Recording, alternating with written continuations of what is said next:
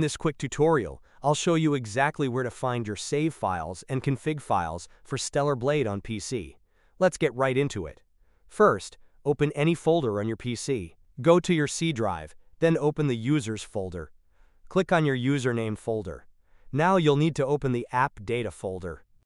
If you don't see it, click on the View tab at the top, then select Show and click Hidden Items. Once App Data is visible, open it, then go to the local folder. Find and open the folder named SB. Inside, go into the Saved folder. Open Saved Games. You'll see a folder with a numbered name.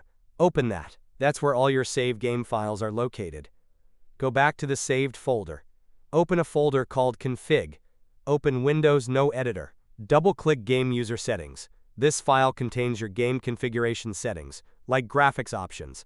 And that's it. Now you know where to find both the save files and config settings for Stellar Blade on PC. If this video helped you out, don't forget to like, subscribe, and leave a comment if you have any questions. Thanks for watching, and I'll see you in the next one.